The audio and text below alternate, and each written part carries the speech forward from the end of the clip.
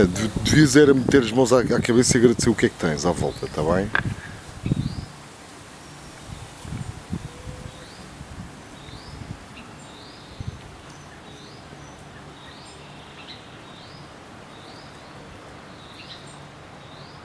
Queres que eu agradeço por ter um pai que dá muito mais importância